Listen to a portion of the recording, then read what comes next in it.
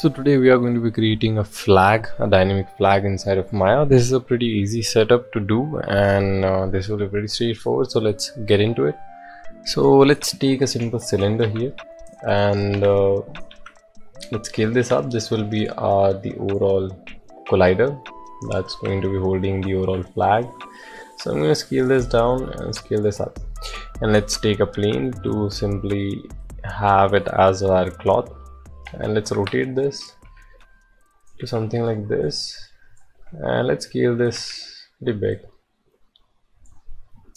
Okay so I think this is looking quite good. I'm going to hit 4 on my keyboard in my front view just so I can see how much it's intersecting with the overall uh, pool here. And I'm going to go to my attributes and let's increase the subdivision to maybe something like a 40 and 40 and then we can probably catch this afterwards. So we can increase this if you want. So let's make it 50 actually. So this will be our passive collider and this will be our cloth. All right so let's go to the fx menu and i've created some amazing cloth simulation by using this method. So the first thing is this will be the texture we are going to be using. Stay home stay safe. Uh, this is a simple uh, you can see overall poster that i created inside of photoshop. Some text and that's it. And this is like a couple of examples that i can show you how i used this cloth simulation to one of my personal projects. So you can get pretty amazing result with the overall cloth sim. So i'm going to select this guy here. Let's create a passive collider here. I'm going to sorry this one is a passive collider. This is a cloth if i make this play it's going to fall exactly how it's supposed to do. And uh, not this guy. I'm going to select this plane here and i'm going to go to my vertex mode and let's select all the points here. And hold shift on your keyboard and select your primitive and go to nConstraint and point to surface. Now this guy is holding actually our passive collider is holding our overall cloth here. So you can pretty much see these simple dots here which are representing how the connection is going on between them. If I show you if you want to turn this off you can simply turn off the display connection if you want. I like to keep them on sometimes. So let's play this now so everything works perfectly but the thing is there is no wind the cloth is not flying the flag is not overall moving. So let's do one thing. Instead of adding some extra field what we have is a nucleus which is a good thing. And with the nucleus we have some wind attributes. So i'm going to increase the wind speed to something like maybe a 2 just for the starters. And let's keep increasing. So let's say 10 or so now it has pretty intense wind all right the couple of things to know like this is your x y z direction. If you want it if you want your plane to be moving on the other direction you can simply hit a negative value and that will just react to that. So if i play this now this should go back. Yeah.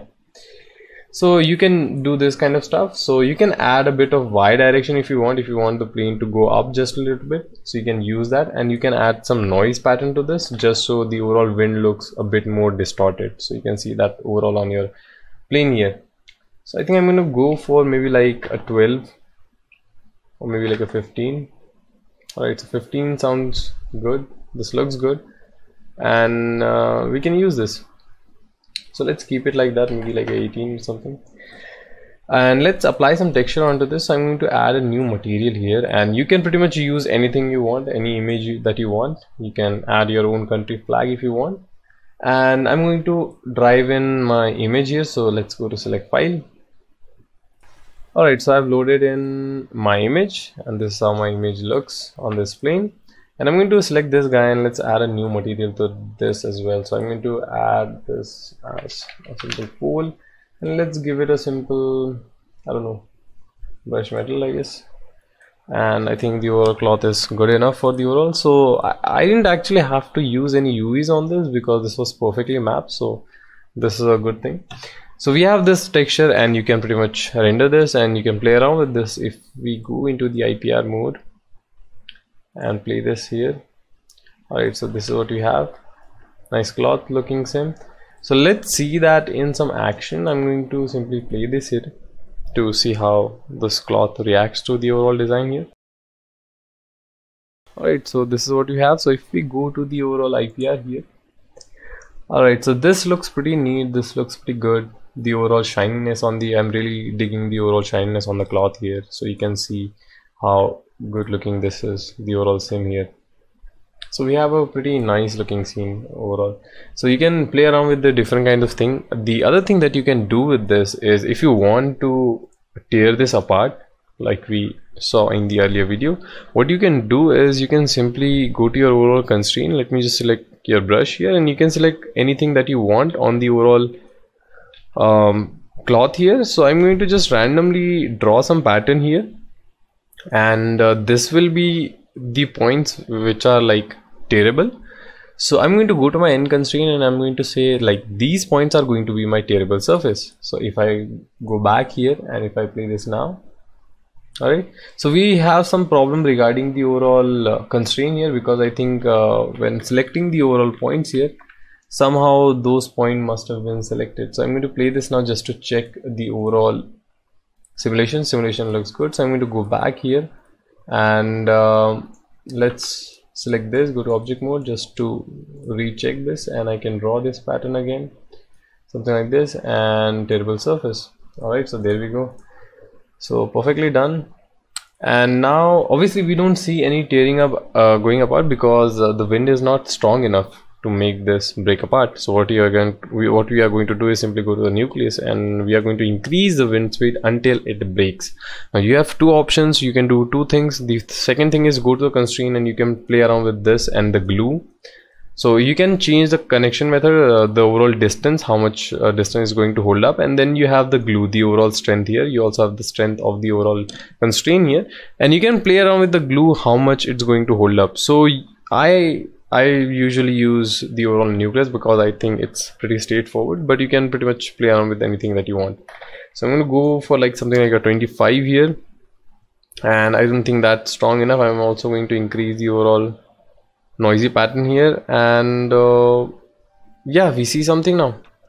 A bit late but yeah we see some cloth tearing apart. So i'm going to go back and just hit this with 35 value and i think this should be strong enough to break this. All right so we see something like this. Right nice breaking and let's go to the overall ipr to see how this is looking. All right so pretty nice cloth tearing apart going on. We can probably add some more uh, you can see divisions to this cloth and then we can resim this again to make a cloth pretty smooth looking overall design. So always have good amount of geometry when you're using cloth dynamics or if you're tearing anything apart. That would just make the whole thing look pretty smooth. So i'm going to increase some more wind on this. 45 should be fine and if i play this now? All right so there you go and now if I go to my IPR alright. This looks pretty neat. So you can use this if you want. You can create a tearing apart flag kind of thing if you are into this kind of thing.